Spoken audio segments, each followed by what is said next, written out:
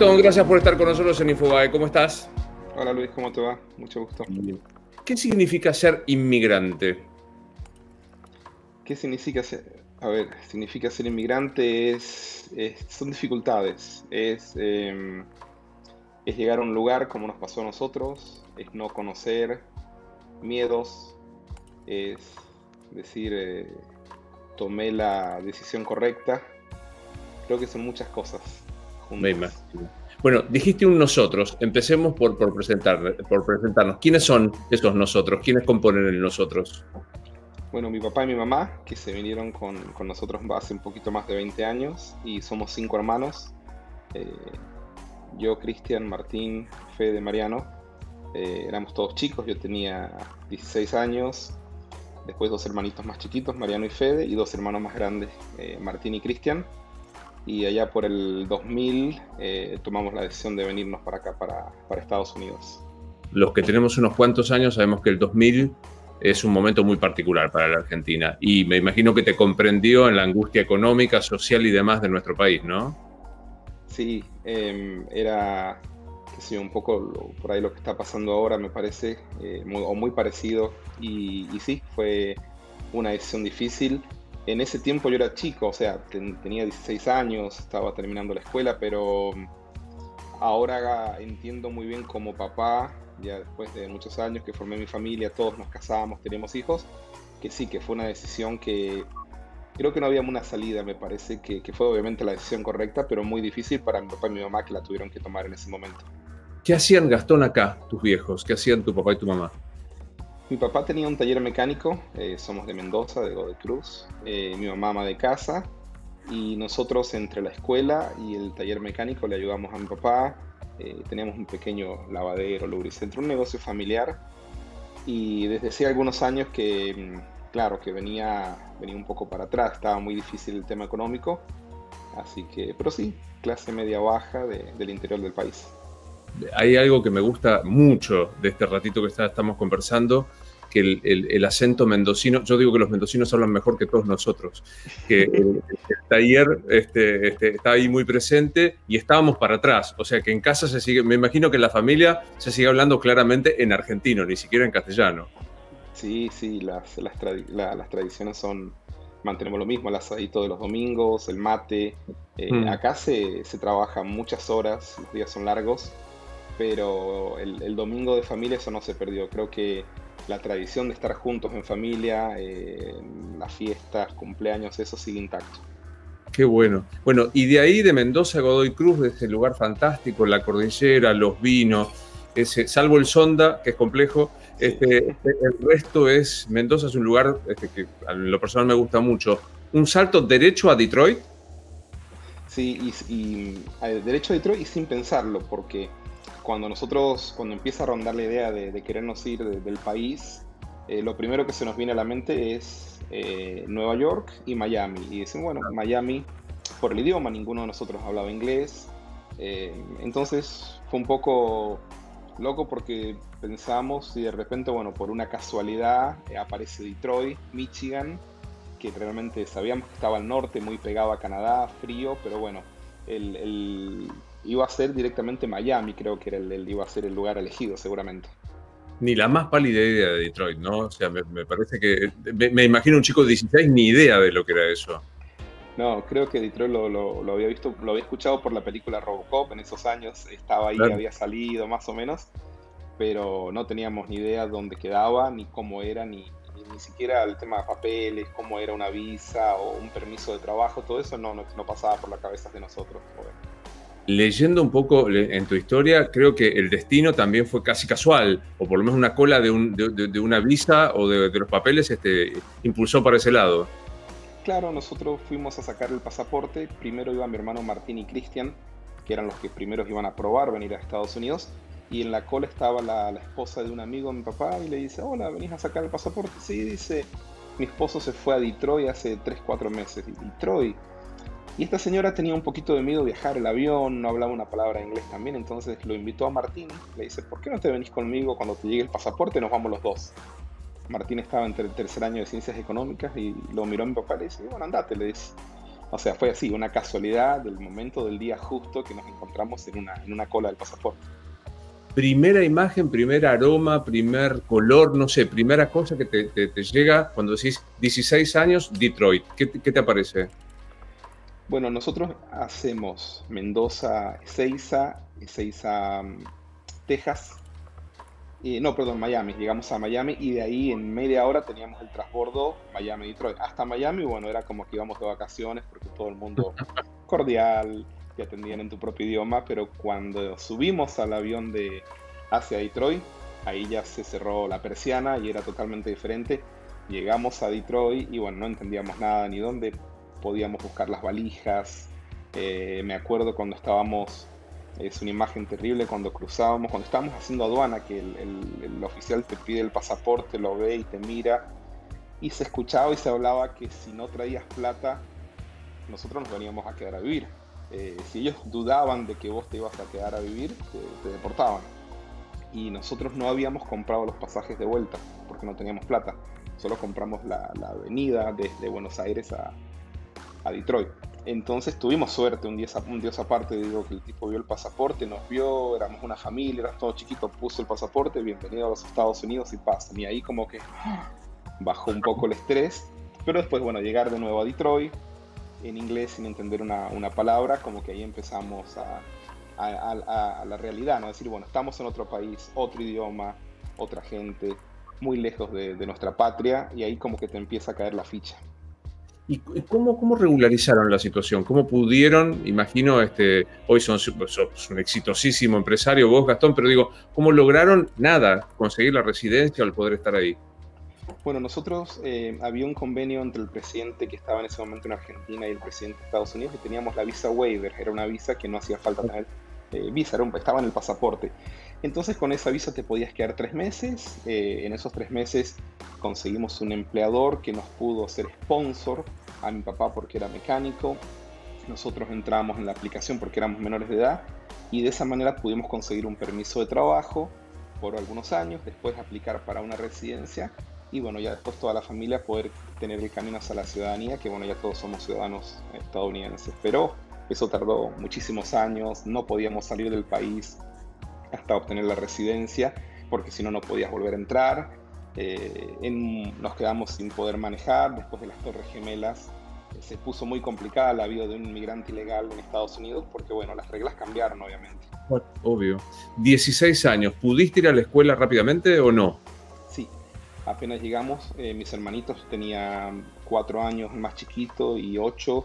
Ellos ahí nomás empezaron la escuela. Yo también pude terminar la secundaria. Em, y bueno, empezar también a trabajar. Sí, el tema en ese tiempo era muy simple. No, en las escuelas no te preguntaban si tenías o no tenías papeles. Era, era muy diferente a lo que fue las, después de las Torres Gemelas, cuando se complica la vida, obviamente, de un, de un, de un inmigrante en Estados Unidos. Mm, ¿Y empezaste a estudiar dónde? ¿Cómo se llama tu escuela donde fuiste? Yo fui a la, a la escuela se llama Western, que está en, en la ciudad de Wall Lake. Ahí termino la secundaria eh, después, bueno, empiezo a trabajar en un restaurante de comida rápida, cocinando, lavando platos, cocinando pollo. Después de algunos años, eh, empiezo, entro a, una universidad de, se llama Michigan Institute of Real Estate, que es una universidad de, bienes y raíces aquí en el estado de Michigan.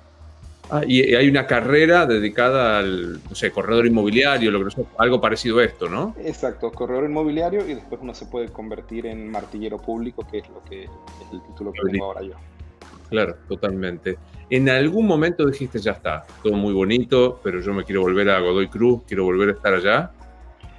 Y los primeros meses, cuando nosotros éramos nueve personas viviendo en un departamento de un ambiente, o sea, había que sacar un número el lunes a ver si el martes ibas al baño, porque éramos un montón.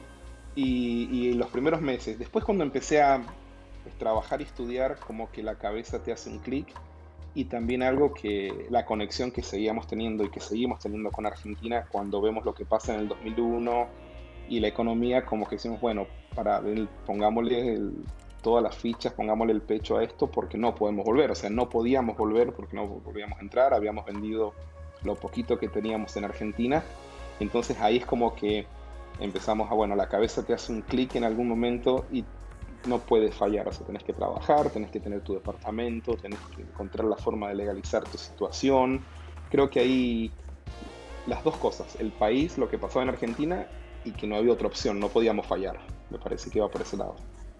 ¿Cuándo, ¿Cuándo vos sentiste que te hacías dueño del lugar? A los que alguna vez hemos emigrado o estado en otro lugar, hay un momento en el que vos te sentís que te amigaste con el sitio en el que estás y que decís, pertenezco a este lugar. ¿Cuándo pasó eso? Me pasó cuando volví a Argentina. Yo vuelvo por primera vez en el 2015.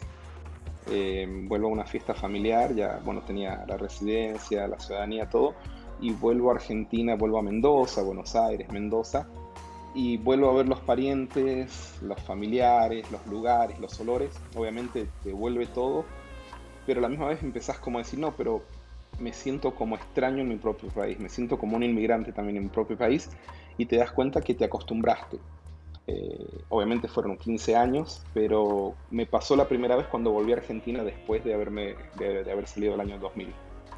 Decías, este, todos formaron familia, todos los hermanos formaron familias. Me imagino ahora una fiesta familiar ahí debe ser como casi... Este, Somos 30. Claro. ¿Y, cómo te fue a vos? ¿Te, casaste? ¿Cómo fue tu vida allá? Sí, sí, me casé con una argentina de, que vivía en New Jersey con su familia. Se vino a vivir a Michigan. Tengo tres chicos, uno de 13 años, 10 y de 10 meses, 11 meses. Y bueno, ella, los dos eh, entramos en la carrera de corredores inmobiliarios, me ayuda con la empresa, formamos la empresa con ella y con mis hermanos, con mi familia, así que gracias a Dios muy pero muy bien porque bueno, me, pude casar con una argentina de Mendoza, de la Valle, también de... ¿También de Mendoza? también de Mendoza, nos encontramos, nos conocimos por un chat de America Online de, en New Jersey, bueno, nos, nos conocimos y nos casamos. ¿Entendés al que hoy, 2020, sueña con, emigrar, sueña con salir de la Argentina? Sí, sí, totalmente. Y me pasa que, muchas personas se contactan ah, por medio de nuestra empresa y no por hacer un negocio, sino me dicen, me piden un consejo y la verdad que me, gusta cuando tengo el tiempo de hacerlo. Y lo entiendo porque yo siempre digo que, es una lástima que, nos tengamos que ir de nuestro país. Em, pero bueno, si las oportunidades no están ahí y uno busca y busca y busca, me parece que, es entendible. Muchas personas no te entienden, muchas personas te dicen, no, quédate a ponerle el pecho al país, pero es muy difícil. Nosotros, cuando fallecieron tíos míos, no pudimos volver, hermanos de mi papá, hermanos de mi mamá, ellos no podían volver, o sea, es muy difícil ser un inmigrante. Eh, muchas personas piensan que te vas a Estados Unidos y te llueven los dólares y te cuesta muchísimo. Cada dólar que ganas te lo cobran, te cuesta muchísimo, sin muchas horas, no se descansa.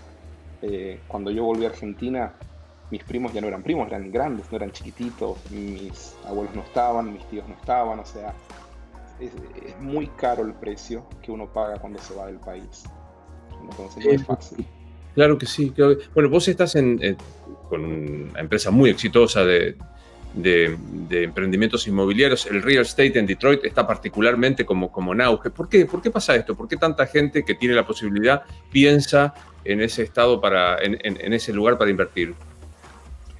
Y pasó que la ciudad fue una de las cinco ciudades más importantes del país, eh, por la Ford, la General Motors, las empresas muy, muy grandes.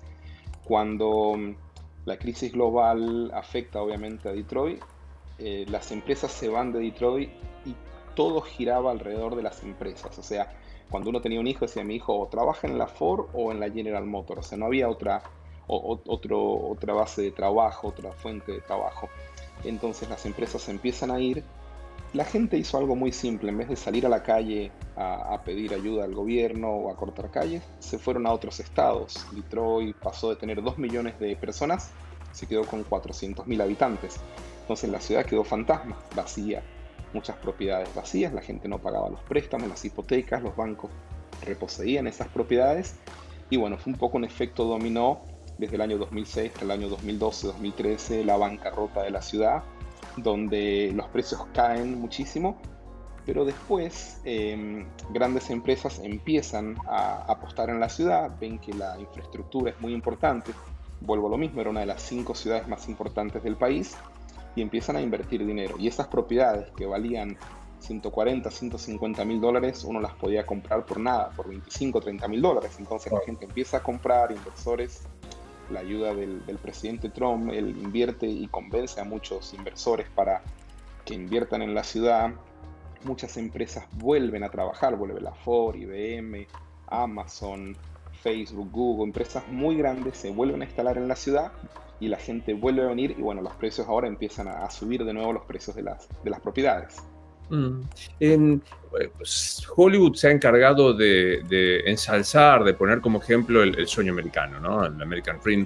Eh, y me da la impresión, escuchándote y leyendo sobre vos, que vos sos una expresión de este, de este esfuerzo personal, de la cosa del, del, del self-made man.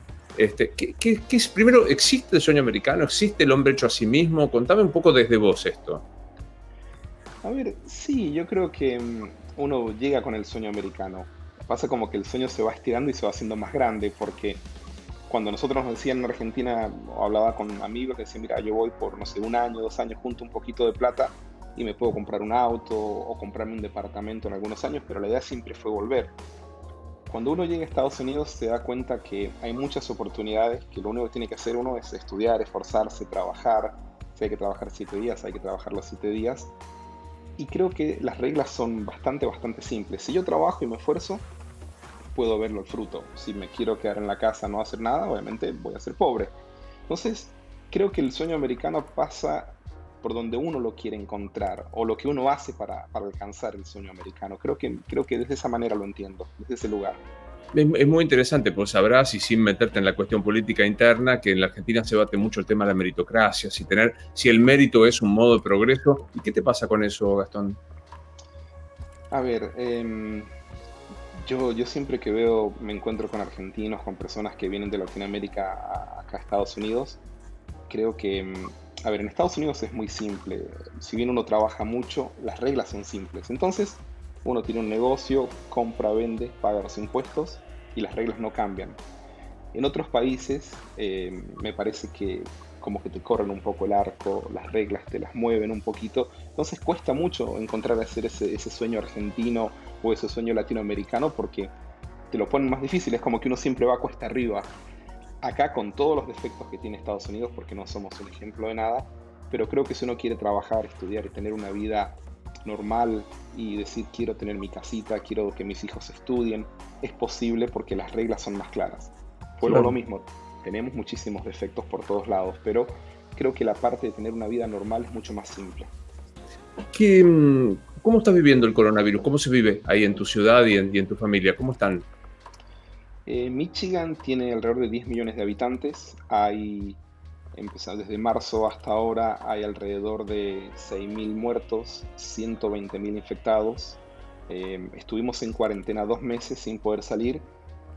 Em, nada, la cuarentena ayudó a que el sistema de salud se pudiera reforzar, que tuvieran barbijos, respiradores, que se preparaban los hospitales, por eso nos tuvieron 60 días, después se fue aflojando la cuarentena pero siguen, siguen habiendo muchos, muchos contagios, pero la economía está rodando. Nosotros pudimos abrir nuestra oficina dos meses después, los alquileres se siguieron cobrando, diferentes empresas, seguimos trabajando con tomándose la temperatura, bueno, con todo el distanciamiento social, los bares y restaurantes volvieron a abrir con menos capacidad. Lo que el presidente y la gobernadora trataron de hacer fue de nos quedáramos encerrados, por así decirlo, algunos meses para dar tiempo a que el sistema se acomodara, pero después teníamos que volver a la vida normal, o sea, con cuidado, con, todo lo, que uno tiene que hacer, pero eh, el, consumo de alcohol, de drogas, de pastillas que la gente toma, de personas que quieren eh, con, problemas psiquiátricos, aumentó muchísimo cuando estuvimos en cuarentena, porque se dieron cuenta que iba a ser peor tenernos en cuarentena que salir a enfrentar el virus y la economía la iba a destruir. Entonces, creo que nos dejaron encerrados por 60 días como para poder acomodar el tema del sistema, las camas, eh, los, los, respiradores, todo eso, y después nos dejaron salir a trabajar para seguir con la economía. ¿Qué, es el éxito, Gastón? ¿Qué es el éxito? Qué buena, qué buena pregunta. Eh, creo que el éxito es ver a mis hijos contentos, tranquilos, ver a mi papá, a mi mamá que, que arriesgaron todo, que se jugaron todos por nosotros y que nos ven eh, juntos en una fiesta, estar casados, eh, contentos. Creo que la familia es el éxito. Qué bueno. ¿Y el, y el éxito, y el secreto de tu éxito Yo sé que vos sos muy modesto y, te ponen apuros a hablar de lo bien que les va a ustedes en la empresa, pero ¿cuál es que fue el, aditamento personal, si es que lo hay, argentino, que, les permitió este éxito en, tu compañía? Creo que fue mm, todo lo que aprendimos. Em, nosotros desde chiquitos con mi hermano trabajamos, y no me da vergüenza contar, nosotros juntábamos botellas, vendíamos bolsas de residuos, vendíamos pan, un vecino cocinaba pan y salíamos a vender pan en las calles. Y, muchas veces la otra vez me preguntaban si cambiaría algo de mi, infancia, porque yo nunca me di cuenta, para mí no fue una infancia, no, no me arrepiento ni fue triste, fue, me, encantaba. Y creo que todas esas cosas que hicimos nos llevó a, cuando tuvimos las oportunidades, a valorar una oportunidad, a valorar un, trabajo, a valorar un jefe, a escuchar a las personas. Entonces creo que todo lo que pasamos en Mendoza, en Godoy Cruz, eh, lo que nos faltó, lo que no tuvimos, nos hizo ser exitosos. Cuando tuvimos un país que nos dio todas las oportunidades, creo que las aprovechamos y nos superamos y pudimos encontrar el éxito. Por eso no cambiaría nunca lo que pasé, porque para mí fue una infancia muy, pero muy feliz. asumo, no sé, es un prejuicio absoluto que no te veo con ganas de volverte a vivir a Argentina. Me encanta Argentina. Yo voy, antes de, la pandemia, cada dos meses voy a Buenos Aires, eh, a, Mendoza a hacer conferencias y me encanta. Pero bueno, obviamente con mucho respeto voy como turista y estoy una semana, diez días y vuelvo. No tengo que lidiar con el día a día y con, con los problemas obviamente que, que, pasan las personas. Entonces desde ese lugar obviamente para mí es fácil decir que me encanta y que quiero volver, pero obviamente no, a, vivir sí de vacaciones. ¿Y ¿Cuántos años tienen tus hijos? Nicolás tiene 13 Gabriel tiene 10 y el bebé 11 meses, el más chiquito. Bueno, Nicolás te dice, papá, me quiero ir a vivir a Argentina, ¿qué haces? Y se me pondría difícil, me, me, costaría mucho, no sé, tendría que hacer lo mismo que hizo mi papá y dejarlo, pero no sé, no sé, sería una, creo que la decisión más difícil que tendría que tomar. Me imagino. ¿Hay algo que no te pregunté que te gustaría decir, Gastón? Eh, no, a ver, creo que, tocamos todos los temas. Em, me parece que está todo ahí. Está muy bien. Bueno, felicitaciones por, tu trabajo, pero esencialmente por algo que me. Bueno, sos mendocino, claro, esto es una ventaja. Por esta calma y esta cosa de contar tu historia sin ponerla como ejemplo. O sea, a mí, me parece muy interesante que uno pueda contar su historia diciendo, a mí me pasó esto, que eso, cada uno arma su vida como puede, maneja sus sueños y sus deseos como puede. Este, tu hoy tu deseo más grande, ¿cuál es, Gastón? Mi deseo, creo que nosotros acá eh, pudimos lograr todo lo que nos propusimos, tenemos una familia hermosa, eh, la parte humilde económicamente, gracias a Dios, estamos muy bien, seguimos trabajando, una empresa muy exitosa. Eh, mi deseo es que Argentina, que no tengan que haber más Gastón o más Muñoz, que la gente no se tenga que ir del país. Creo que mi deseo es que sin hablar de política ni de un lado ni del otro, estoy muy conectado con Argentina porque muchos inversores vienen acá a comprar propiedades, están con nosotros, pero mi deseo es que, no, que la gente no se tenga que ir del país. Tenemos un país súper rico, eh, las tradiciones, los lugares, yo amo ir a Buenos Aires, a Mendoza, cuando podemos recorrer Córdoba, San Luis, el año pasado con mi familia estuvimos.